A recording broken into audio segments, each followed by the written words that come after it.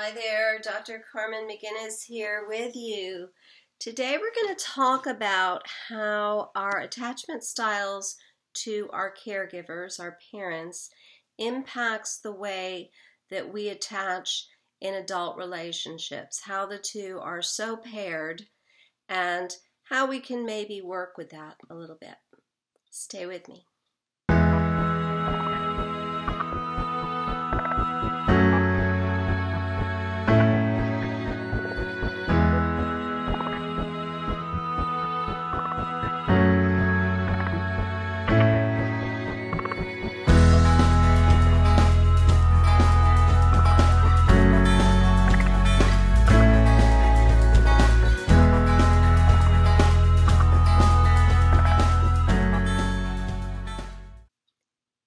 For joining me today. Dr. Carmen McGuinness here.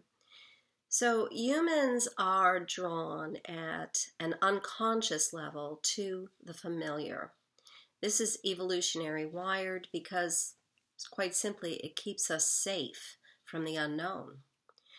For a securely attached man or woman who learned from his or her primary parent that people are loving, dependable, and trustworthy, this is great news as far as adult relationships go. But for those men and women who are insecurely attached, the familiar is not the safest place. Let's look at each of the attachment styles to better understand how each forms adult partnerships. We already mentioned the securely attached individual. He or she learned that life is good, the world is safe, and love is lovely.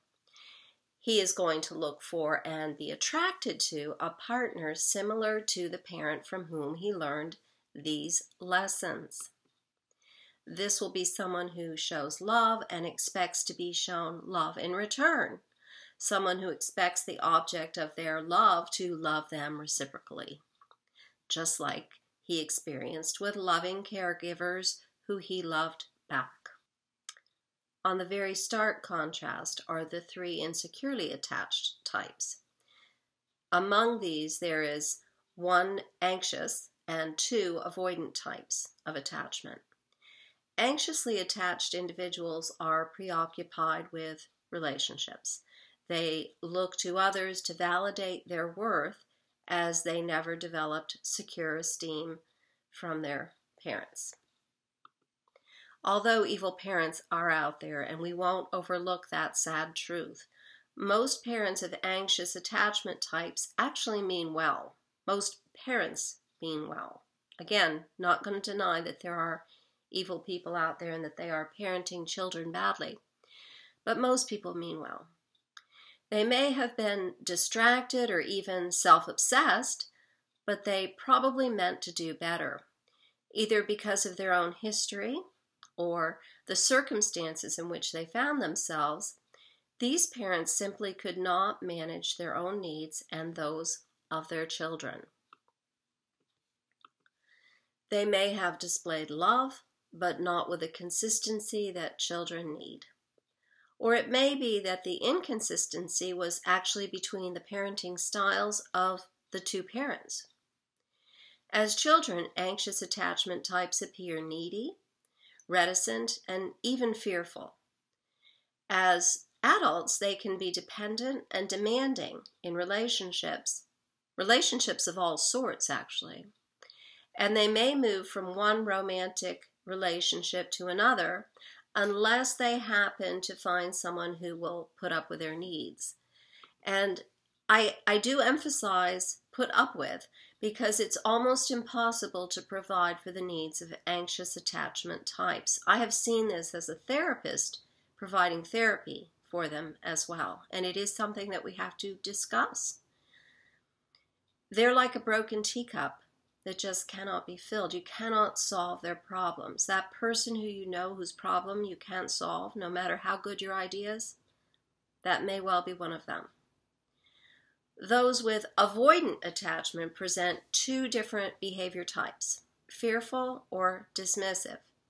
The parenting of the two avoidant types is actually very similar.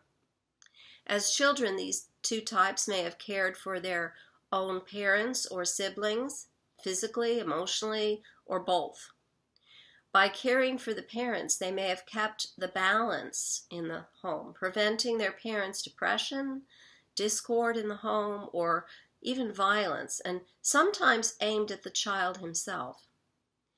They learned early that life is unpredictable, that, that they have to manage or manipulate things in order to get what they need. As mentioned, although their childhoods may have been similar, fearful and dismissive avoidance present differently in adulthood, very differently, in fact. Fearful avoidant adults are insecure in their self worth. This isn't always obvious. They may appear to be perfectly adjusted in that regard. However, it's demonstrated by consistently trying to prove themselves by caring and doing for others. In this way, they build a reserve of self worth, always aware that they may have to go it alone at some point in the future. They crave intimacy, but their distrust and fear of being hurt impedes real intimacy. And although they long to be cared for mutually, they have a fear of physical and emotional dependence on others that prevents it. And although they genuinely enjoy caring for their partners and other people and appear on the surface to be close to their partner, they tend to maintain a safe emotional distance. Fearful avoidance may be the most difficult partners because they send out very mixed signals, as I've detailed here.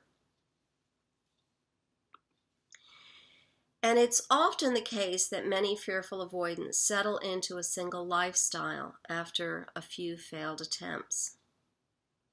As mentioned, the dismissive avoidant may have had a similar family situation to the fearful avoidant, although it may have been more extreme. But in either case, it presents very differently in adulthood. The dismissive avoidant appears to have a more positive self image than did the fearful avoidant. But deep inside is a sad baby who failed to have his or her needs met. This drives him to seek constant attention. However, it's not just your typical kind of attention. Instead of that, healthy attention that we all want, the dismissive avoidant needs to be seen at the top of the heap the best in everything that he values. And what he or she isn't good at, they tend to regard as unimportant, dismissing it, even if someone that they claim to care about is good at it, it's not that important, not as important as what they're good at. He may initiate many relationships in his life, he or she. However, he receives only fleeting comfort from them because of all of the above. For this reason, he tends to start and never really finish relationships and may have two or three or more partners at a time. To an extreme, this individual may fall on the spectrum of narcissistic personality disorder. Incapable of empathy, disregarding the boundaries of others, and unable to open to intimacy. So, hopefully, you've been able to see from this how we veer toward what we're used to and what we're good at. We become very good as children. Our, our, the adults in our lives provide for all of our needs. So we have to be good at managing them. It's our job as children to figure out how to get what we need from those people that can give it to us. So, as grown ups, we are attracted to similar types of people. And we bring to that moment the way that we've developed because of our parents. And in this way, it's very much of a triangle. It's us being born into the family we're born into, then how we develop from that, and then how we attract others from that. And to me, the therapeutic piece is getting back to the beginning, closing the triangle, and that very much is a therapeutic process. And I want to be clear about that because often um, I fear that people might think I'm pitching therapy on this uh, on this channel, and I'm not. Um, what I'm pitching is mental health and relationship health, and frequently therapeutic processes can be engaged in independent of a therapist.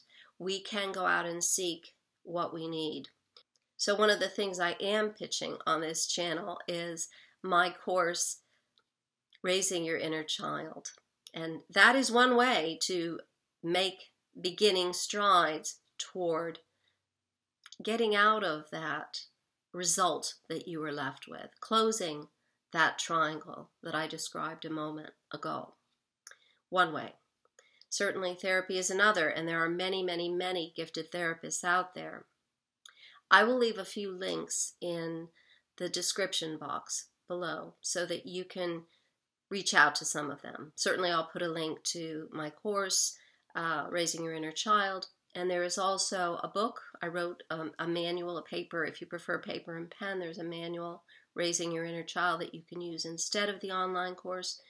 The online course has downloads that you can go through activities, the same activities, but it just depends on if you prefer video or just reading and paper and pen.